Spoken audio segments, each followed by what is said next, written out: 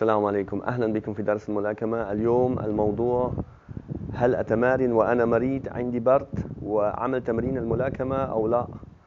أحيانا يأتي عندي أحد في جيم ويقول لي أنه هو مريض عنده حمى ويريد أن يعمل تمرين لكن أنا في هذا الحال أقول أحسن أن يبقى في البيت لأن ممكن أن يزيء جسده في هذا التمرين. يعني هذا التمرين ممكن أصلا لا ينفع. ممكن يزيء عضلاته جسده عظمه وسوف يندم ممكن شهر شهرين عنده إصاب ويعمل تمرين مع هذا الإصاب وهذا طبعا لا ينفع. لهذا نصيحتي لا تعملوا تمرين وأنت عندك همة أو عندك برد شديد وأحسن تبقى في البيت. لأن جسدك ضعيف وأيضا ليس عندك تركيز. يعني أنت لا تركز وحتى ولو تعمل سبارينج طبعا ممكن تأخذ ضربات كثير. ونقطة ونقطة أخرى ممكن يزيء قلبك. وهذا ممكن ترون أيضا على اليوتيوب حتى ممكن يصل إلى الحل الموت. يعني لما أنت مريض عندك برد هذا طبعا أيضا القلب يكون أضعف عضلات القلب يكون أضعف. حتى الإنسان ممكن أن يموت في هذا الحل.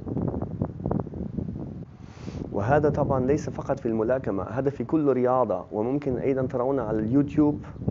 لما تكتب مثلا death during sport ترى إن في كثير في كثير سبورت في كثير رياضات ممكن إنسان يموت لو هو عنده مشكل في القلب أو في الرأس ليس فقط في الملاكمة. يعني هذا هذا مثلا هو كان مريض أخذ برد وبعد هذا يبدأ مع الرياضة على طول ولا ينتظر حتى المرض يذهب كامل.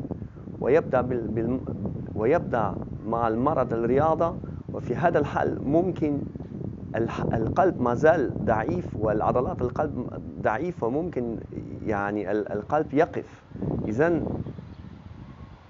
نصيحتي أنك حتى تظن أن المرض ذهب ابدأ بخمسين في المية كل جيد اشرب جيد وابدأ بطيء. حتى أنت متأكد أن المرض ذهب 100% وممكن أن تبدأ الملاكمة إن شاء الله.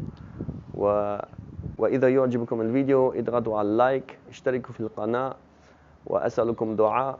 بارك الله فيكم والسلام عليكم ورحمة الله.